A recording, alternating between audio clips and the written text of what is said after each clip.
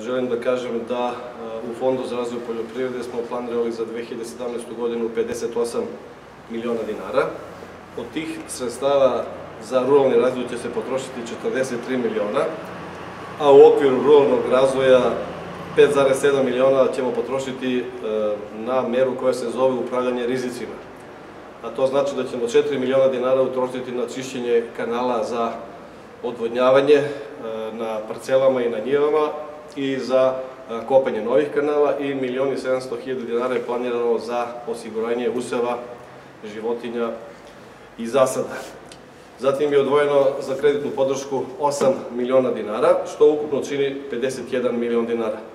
Direktna plaćanja e, su u iznosu od 3 miliona i ona se odnose na e, sufinansiranje veštačkog osemenjavanja i imamo posebne posticaje, to su promocije aktivnosti u poljoprivredi koje iznose 4 miliona, utrošit će se na održavanje stručne ekskurzije i na pomoć i promociju pirotskih brendova i proizvoda na sajmovima koji se održavaju u našoj republici i van naše zemlje. Želim nešto da kažem i o ovaj, konkursu koji je pratići i sastavni deo ovog programa.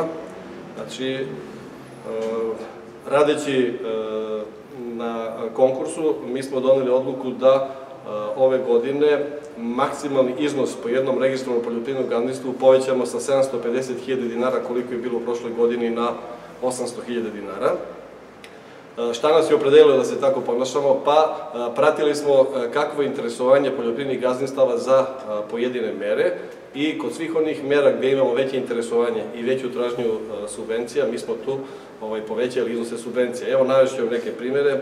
Znači, oprema za mužu je, će se sufinansirati sa 200.000 dinara, u prošloj godini bilo 150, za pčelarstvo je iznos 200.000 dinara, u prošloj godini bilo 100.000 dinara, za voćarstvo sa 200.000 je na 300.000 dinara, za povrtarsku proizvodnju takođe sa 200.000 na 300.000 i kod mehanizacije smo baš napravili jedan znači, e, smeli korak, povećali smo e, subvencije sa 350.000 na 500.000 dinara, znači za kupovinu i nabavku nove poljoprivredne mehanizacije.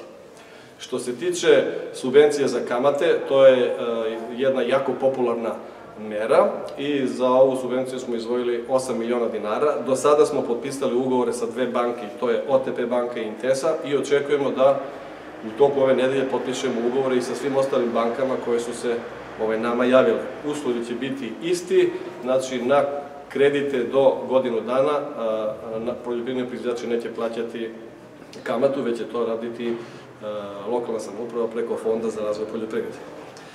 Želim da kažem da će e, konkurs biti objavljen u subotu u listu Sloboda, znači 25. marta i period koji će obuhvatiti konkurs, i to je novina, odnosi se na 1. novembar 2016. godine, pa dok budemo imali sredstava tamo negde do novembra 2017. godine. Zašto smo se odlučili na takav korak? Zato što smo imali e, pozive i e, imamo saznanja da su neka naša poljoprivredna gazdinstva imale investicije i u periodu kada smo mi potrošili naš novac koji smo planirali u 2016.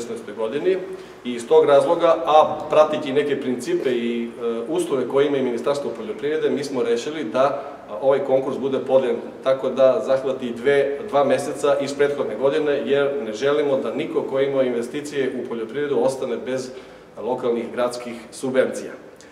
E, e, ovaj, zahteve ćemo početi da prijemo već u ponedeljak 27.03. i ja pozivam sva poljoprivredna gazdinstva i vas medije da ovu informaciju plasirate kako bi ovaj, naši proizvodjači mogli što pre da podnesu zahteve, a mi ćemo u brzom roku kao do sada uvek njima na uplatne račune vraćati deo subvencija.